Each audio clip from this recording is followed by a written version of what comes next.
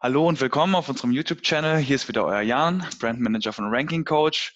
Und wir sprechen heute über Suchmaschinenoptimierung für KMUs. Und ähm, da haben wir einen sehr spannenden Gast hier, und zwar Martina Honecker. Sie ist SEO-Coach und Online-Business-Mentorin. Und ähm, ja, hallo Martina, vielen Dank, dass du da bist.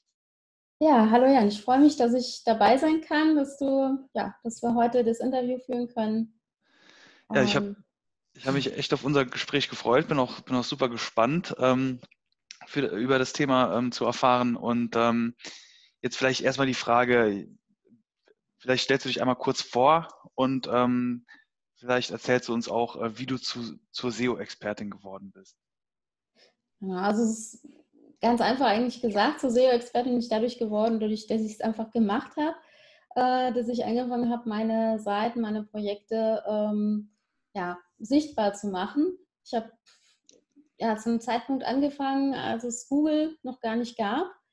Ähm, habe 98 die erste Webseite gebaut, also war Google noch nicht wirklich so der Begriff. Und ähm, SEO bestand vornehmlich darin, dass man ähm, irgendwelche Keywords in die Seite reingeworfen hat, den Meta-Keyword-Tag und ähm, das möglichst oft in den Seiten platziert hat, möglichst oft im Quelltext platziert hat und dann warst du schon recht hoch in Suchmaschinen wie Fireball zum Beispiel, war damals ganz, ganz in, glaube ich, mhm. so ein T-Online äh, Abkömmling. genau. Ja.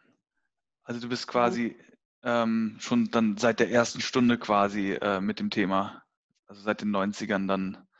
Ähm, ja, also schon seit, genau. Und ja, es hat sich mit der Zeit hat sich natürlich einiges verändert halt auch im SEO-Bereich. Und ähm, es ist, zum einen ist es ein bisschen schwieriger geworden, zum anderen aber auch einfacher. Also mhm. es reicht heute eben nicht mehr einfach irgendwelche Keywords in die Seite reinzuwerfen und irgendwelche ähm, komischen Optimierungen zu machen. Also früher bist du auch hingegangen, hast dann äh, Text auf die Seite geschrieben mit der gleichen Farbe wie die Hintergrundfarbe und das, das war halt einfach nur mit Keywords angereichert und ähm, heute musst du natürlich schon ein bisschen mehr machen. Aber ähm, es ist in einer gewissen Hinsicht auch leichter geworden, weil es ist nämlich einfacher, relevanten Content, also wirklich wertvollen Content zu platzieren, ähm, wohingegen du vor einigen Jahren da doch Schwierigkeiten hattest und gegen, ähm, ja, gegen seltsame Methoden quasi ankämpfen musstest in den Rankings. Mhm. Genau. Also ähm, das sind ja dann auch Taktiken, die man, würden diese Taktiken heute überhaupt noch funktionieren? Das ist ja das, was man als Black Hat bezeichnet dann. Genau, also diese ganz alten Taktiken funktionieren schon lange nicht mehr. Ähm, aber ja, also ja, diese alten Techniken, die funktionieren schon lange nicht mehr. Und ja, also ich würde sagen, man kann sich, es, es gibt so ein paar Grundprinzipien, was man sagen kann, was schon immer gegolten hat und jetzt eigentlich umso mehr, nämlich dass man wirklich schaut, für wen schreibe ich hier überhaupt, was sind die Nutzer, was, was wollen meine Leser überhaupt wissen, was interessiert die, was, was wollen die sehen, was suchen die auch. Und wenn man für den Nutzer schreibt, ist eigentlich schon die halbe Miete. Also es ist halt ganz blöd gesagt, aber es ist mhm. tatsächlich mhm. so. Jetzt ist es ja auch so, dass heutzutage für viele ähm, kleine und mittelständische Unternehmen, das ist vor allem auch so, so, so zum Teil auch die Zielgruppe von Ranking Coach. Ähm, inwief inwiefern kann man diesen Leuten quasi beibringen, dass äh, SEO halt nichts Kompliziertes ist? Weil für viele ähm, KMUs ist das halt relativ, fühlt sich das relativ kompliziert an und ist irgendwie undurchsichtlich ähm, wie geht das, wie funktioniert das und dann fehlt auch Zeit und Geld, um Agentur zu beauftragen. Ähm, wie, wie, kann man jetzt, sage ich mal, kleinen und mittelständischen Unternehmen beibringen, dass SEO eigentlich gar nicht so kompliziert ist? Ja, also ich finde, ihr habt da schon einen recht guten Ansatz äh, beim Ranking Coach, muss ich sagen, dass man wirklich so auch den, äh, ja, so kleine Häppchen auch vorgibt, so kleine Aufgaben quasi, das, schau mal, das hier gibt es an deiner Seite zu tun. Und ähm, ich denke auch, dass man das wirklich so in so kleine Aufgaben verpackt, dass man, was man auch als, als kleiner Unternehmer, als Selbstständiger ähm, auch nebenher auch machen kann. Vielleicht auch nur so ein paar Minuten, zehn Minuten am Tag oder eine halbe Stunde am Tag braucht, äh, um das dann zu erledigen. Ich meine, man kann sich dann neben dem normalen Geschäft auch nicht die ganze Zeit nur um SEO kümmern. Mhm. Jetzt auch eine Frage. Du siehst ja auch ähm, wahrscheinlich auch ziemlich viele äh, Menschen, die quasi versuchen, SEO selber zu optimieren oder, oder ähm, auch mit, mit deiner Hilfe. Ähm, was sind denn da für ähm, Fehler, die du oft siehst? Also was ich sehr oft sehe, ist, dass Bilder zum Beispiel nicht optimiert sind, also dass die Bilder von der Kamera so hochgeladen werden, wie sie aus der Kamera kommen oder aus dem Handy und dann hast du dann Bilder auf der Webseite, die sind so zwei, drei, vier MB groß, was natürlich die Ladezeit ähm, unglaublich verschlechtert. Ähm, was ich auch leider noch sehr, sehr oft sehe, ist, dass Seiten überhaupt nicht mobil optimiert sind. Und das mhm. ist ja ist mittlerweile eigentlich äh, nicht mehr einfach nur so ein Schönheitsfehler, sondern es ist eigentlich ein Muss, dass die Seite auch mobil ähm, gut bedienbar ist. Mhm. Und das sehe ich halt immer noch sehr, sehr oft. Und es gibt ja mittlerweile, selbst wenn man ein Baukastensystem nutzt, ähm, auch die haben verschiedene Vorlagen, die halt auch äh, mobil responsive sind.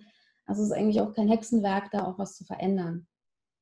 Also mhm. das, das sind zum Beispiel die Dinge, die mir sehr, sehr oft auffallen. Oder dass halt einfach wie wild ähm, Content produziert wird auf der Seite. Ja, ich muss unbedingt irgendwas schreiben, äh, damit ich bei ähm, Google gut gefunden werde, aber es wird sich keine Gedanken darüber gemacht, ja, worüber schreibe ich überhaupt? Das sind meine Keywords, auf die ich mich fokussieren will. Und es wird dann irgendwelcher Content produziert, ähm, Thin Content mit äh, Blogbeiträge mit, mit 300 Zeichen oder sowas, also Sachen, die eigentlich gar nicht mehr so relevant sind. Mhm. Auch das wird sehr oft. Oder es wird ähm, wenig an der Seite aktualisiert, zum Beispiel. Das sind so die Sachen, die mir halt sehr, sehr oft ähm, auffallen. Ja. Ähm, jetzt vielleicht auch in Bezug zum Content. Was für eine Art Content sollte man denn jetzt produzieren? Hast du da? Also zum einen ähm, ist natürlich ähm, mittlerweile eigentlich immer wichtiger, dass man halt auch Content produziert, der eine gewisse Länge auch hat. Also das ist das, was ich halt öfter auch sehe, die Sachen, die bei mir halt auch am besten gehen. Das sind Artikel, die ähm, länger sind, die halt auch wirklich einen Mehrwert bieten mhm. und ähm, die vielleicht auch dann noch angereichert sind durch ein Video ähm, oder durch zusätzliche Extras. Also Video ist halt wirklich auch ein ganz, ganz äh, großes Thema und da kommst du mittlerweile eigentlich auch nicht mehr dran vorbei. Ne? Also es ist ähm, Warum ist Video da so wichtig? Weil es einen besonderen Mehrwert äh, bietet dann für den Leser oder weil es dann direkt Einfluss auf die Suchmaschinenoptimierung hat? Also es bietet zum einen Mehrwert äh, und auch wenn das Video gut gemacht ist und dementsprechend auch für den Nutzer einen Mehrwert bietet, ist natürlich die Haltezeit auf der Seite auch äh, um einiges größer. Und ähm, nicht zu vergessen, dass YouTube hier selbst auch nochmal eine Suchmaschine ist. Also wenn man die, Seiten, äh, die, die Videos bei YouTube hochlädt und entsprechend optimiert, da kann man ja auch einiges machen an den Titeln, an den Beschreibungen. Und ähm, auch da hat man nochmal die Möglichkeit, gefunden zu werden über YouTube selber. Mhm.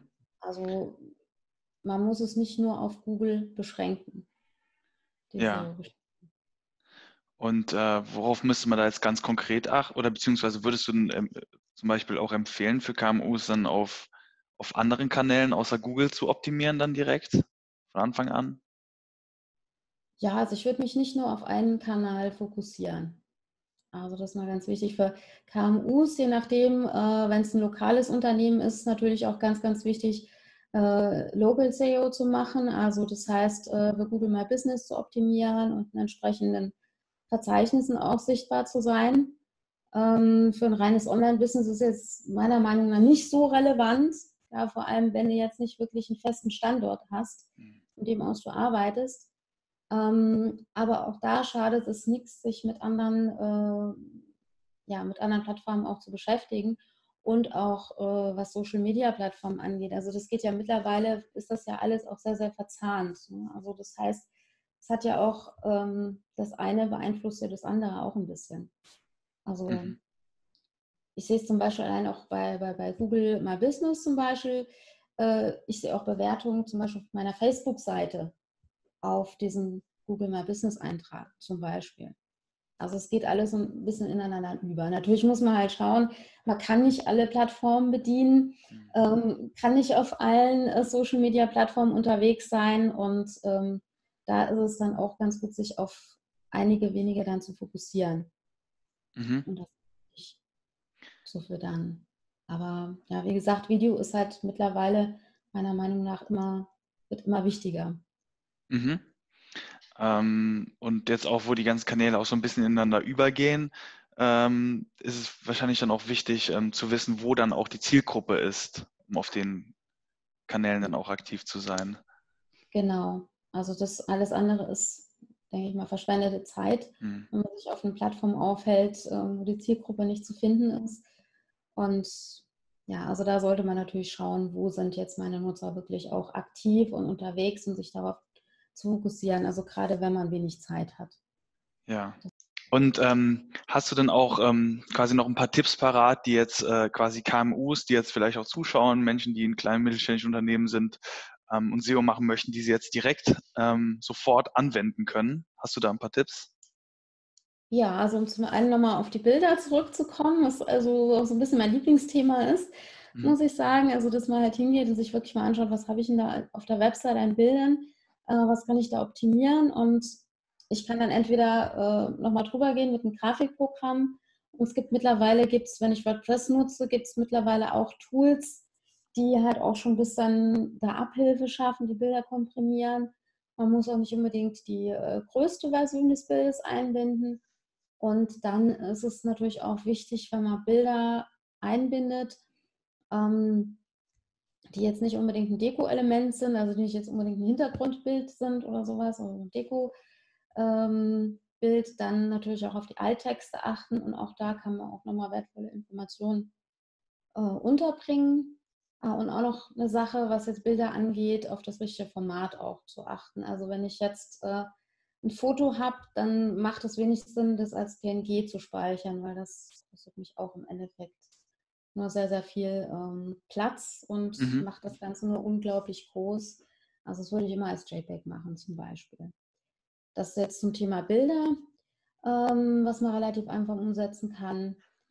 Ansonsten auch schauen, dass ich die interne Verlinkung äh, auf meiner Seite gut habe. Also dass ich halt auch schaue, dass ich ähm, zu interessanten Inhalten auf meiner Seite auch verlinke. Dass ich äh, zum Beispiel von einem Artikel auf einen dazu passenden Artikel verlinke oder auf ein passendes Angebot von mir. Wenn ich jetzt einen Shop habe zum Beispiel, dass ich dann auch vielleicht auch das entsprechende Produkt verlinke äh, in meinem Blog. Und ähm, damit mache ich es Google im Endeffekt ja auch leichter, meine Seite zu indizieren. Und auch die Sache, ich gucke mal an, wie strukturiere ich meine Seite? Also, ähm, dass ich meine Seite quasi in Themen auch aufteile, kopiere, nämlich entsprechende Kategorien aufbaue ähm, oder Themenseiten, wo es ja, äh, um ein ganz bestimmtes Thema geht. Das kopiere ich untereinander und dann macht es das Ganze auch nochmal einfacher ähm, für den Nutzer zum einen, wichtige Inhalte zu finden. Der fühlt mhm. sich dann auch besser aufgehoben auf der Seite und Google findet sich auch besser zurecht. Genau. Mhm. Und auch ein schöner Tipp, den Konten so ein bisschen anzureichern mit Video, äh, mit schönen Überschriften dazwischen. Also, dass man schaut, dass der, dass der Content auch so angereichert ist, dass man einfach drüber fliegen kann und dass man schon ähm, eine Struktur erkennen kann. Also dann macht es auch Spaß, das zu lesen. Also sich einfach mal so ein bisschen in, den Leser rein zu versetzen und was wird mir jetzt Spaß machen, mir anzuschauen. Mhm. ja, das super, super spannende Tipps, die, die jetzt auch jeder direkt äh, angehen kann. Also was bringen einem dann schöne Bilder, die überall aufpoppen, wenn, wenn, wenn dadurch die Webseite viel zu langsam wird. Ja. Hm, deswegen auch die richtige Größe, weil das natürlich dann auch Ranking-Faktor quasi dann auch die Bounce Rate oder zumindest hat, hängt das damit zusammen, das dass die Ladezeit, ja. Hm. Also da, das ist halt zum Beispiel eine Ladezeitoptimierung, die kann ich ohne weiteres selber machen. Für manche Sachen muss ich natürlich schon, äh, wenn ich das technische Know-how nicht habe, dann auch äh, einen Webentwickler zum Beispiel beauftragen. Manchmal liegt es auch einfach nur daran, dass man vielleicht auf ein anderes Hosting-Paket wechselt. Auch das kann schon ausreichen. Also mhm. gerade wenn ich jetzt bei so einem Billig-Hoster gehostet bin und so ein ganz kleines Hosting-Paket habe und ich habe aber einen Online-Shop, dann ist das vielleicht nicht unbedingt so geeignet. Dann sollte ich mir mal überlegen, ob ich vielleicht zum Nextburn-Paket wechsle. Mhm. Also. Und, ja, das sind so Sachen, die ich eben auch selber machen kann. Ja, Also auf gar keinen Fall die Ladegeschwindigkeit von der Webseite vernachlässigen und hier dann auch, kann, kann man quasi dann auch selber optimieren in dem Sinne. Also Bilder brauchen, brauchen die richtige Größe, nicht zu groß, äh, Themenseiten gruppieren und ähm, ja, damit hilft man dann quasi seinen Lesern und seiner und der Suchmaschine. Das ist ja dann Win-Win. Ja. Genau, also, ja, also wenn, wenn, ich, wenn, wenn meine Seite eben auch nutzerfreundlich ist, dann helfe ich meiner, helfe ich Google auch ja, und helfe meinem Ranking auch wenn mhm. ich meinen Nutzern helfe. Okay, ja, super spannend, äh, super spannende Tipps, äh, die hoffentlich jetzt auch viele ähm, unserer Zuschauer direkt ausprobieren werden. Ähm, also schon mal vielen, vielen Dank, Martina, für das tolle Interview. Ja, danke, dass ich dabei sein durfte, dass du mich interviewt hast. Und äh, für diejenigen, ähm, die dich kennenlernen wollen oder auch Tipps von dir haben möchten oder mit dir zusammenarbeiten möchten, die können dann äh, auf den Link zu deiner Seite äh, gehen. Die, den habe ich unten verlinkt in unserer Beschreibung. Für diejenigen, die Ranking Coach äh, kostenlos testen möchten, hier habe ich auch unsere Seite einmal unten verlinkt. Ähm, ja, und äh, nochmal vielen, vielen Dank und noch einen schönen Tag dir. Ja, danke dir auch. Ciao. Ciao.